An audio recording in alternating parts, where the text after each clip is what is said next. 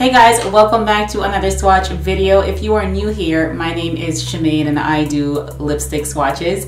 Today's video, we're gonna be swatching the Sephora Lip Stories. I have swatched so many of the Sephora Lip Stories holiday sets. This one is called the Under the Mistletoe lipstick set. And it contains six full-size lipsticks Actually, the packaging says that you get two for free, so um, you get six for the price of four. So let's just jump right into the swatches.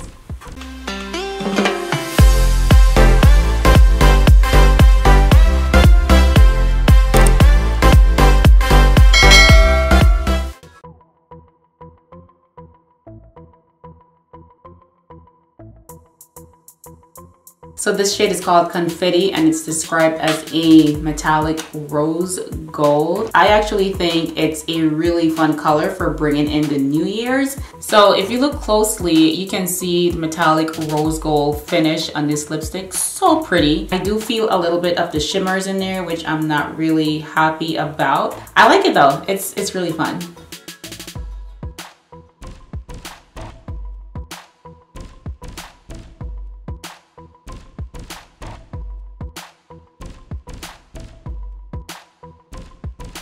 So Toast is described as a light nude color and I actually love how this looks.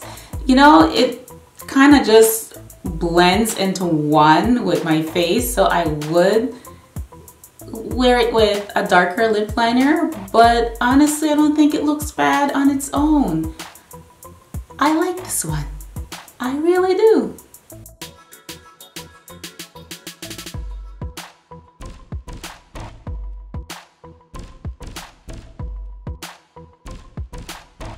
So Wonderland is described as a rosy mauve.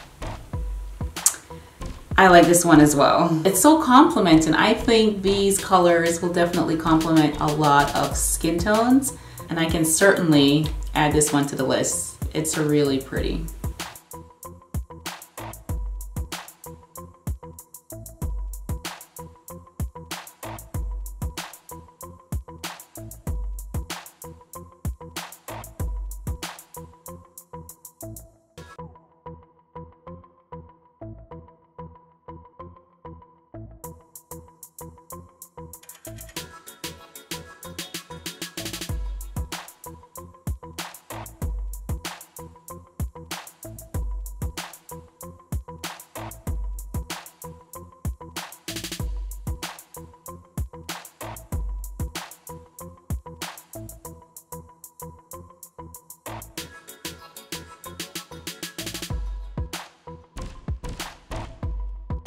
Well, this one is described as a metallic nude and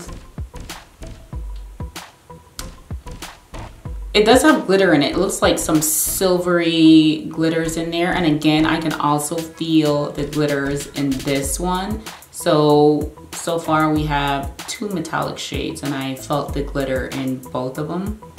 But I don't think there's anything special about this one. I think if anything, it's a very plain metallic nude shade, which some people like that. At least it's not loud and out there and it's a more regular day-to-day -day lipstick that you can probably wear despite it having that metallic finish. The good thing is that the metallic finish isn't um, overpowering. So it kind of look like a lip gloss, which makes me see myself wearing it more often compared to the first metallic shade. So this is more natural, everyday type of nude metallic. And honestly, I think it will work. You know, it's just a regular, like a clear lipstick with metallic finishes. So I think I think I can make this work for me. I would wear this outside just like this. So it's a regular lipstick with a little bit of oomph and some people dig that. Some people don't want the loud, colorful lipsticks all the time and I think this is one of those lipsticks. What do you think?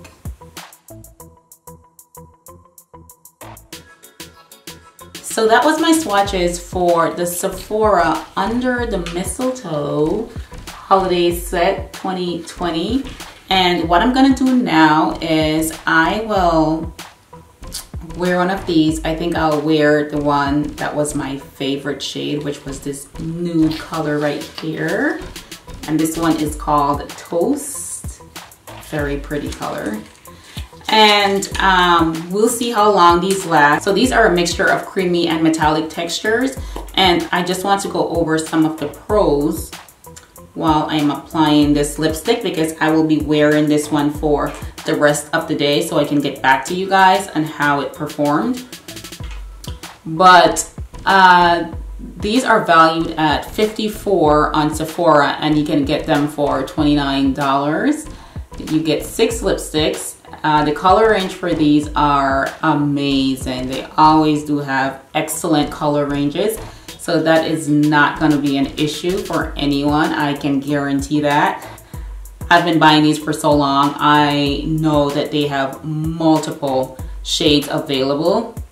Uh, another pro is that the creamy lipsticks are extremely creamy. So if you suffer from dry lips, these are gonna be great for you. I guess it can be a pro and a con because creamy lipsticks, clearly they're not gonna last a very long time. But at the same time, you get that hydration and that moisturizing factor, which, which is important for a lot of people. Um, they also smell really great. It's not like a high scent, but it does go away after some time. So you don't have to worry about the smell lingering. Also, they always did have very fun and creative packaging. As you can see, these will look great on your vanity. I always love the packaging for the lip stories. And like I mentioned before, some of the cons, or one of the cons is that the creamy lipsticks, you will have to constantly reapply it. You will have to baby it because it can smear on your teeth or it can smear on your face. So it's a little bit more high maintenance compared to a matte lipstick. If you're okay with that, then these will be great for you.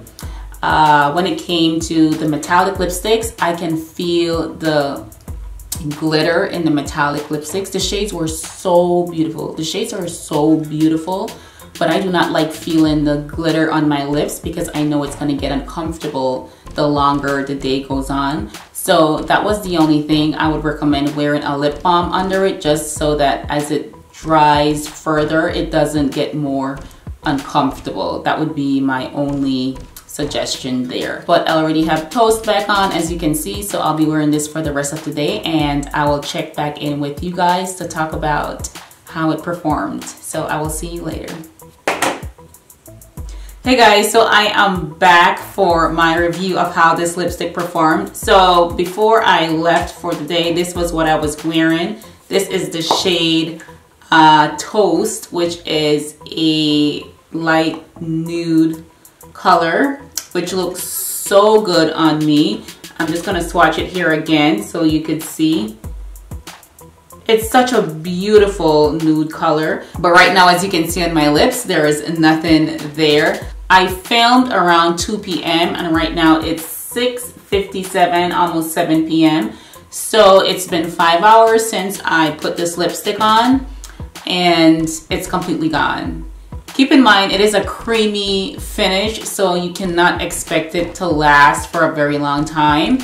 I would say after about two hours, I could not see the lipstick anymore and um, I did not reapply because I want you guys to see what it looks like after, you know, after my day. So I just want to see if there's anything left on my lips. So I'm going to use a makeup wipe just to see if any color will actually come off my lips. Well, there. so you can see a little bit of it there. Um, but I do have to say that my lips are very hydrated.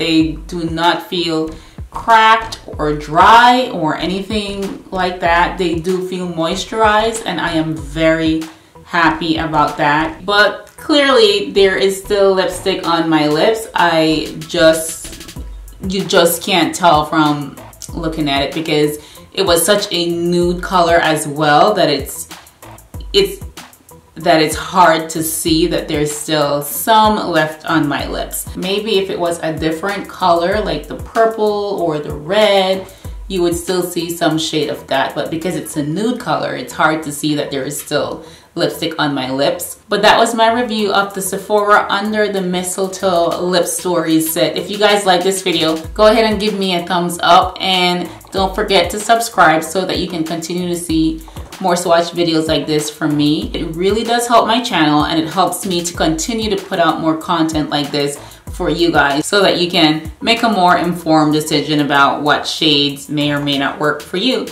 But that's all I got for this evening and I will catch you guys in my next swatch video. Bye!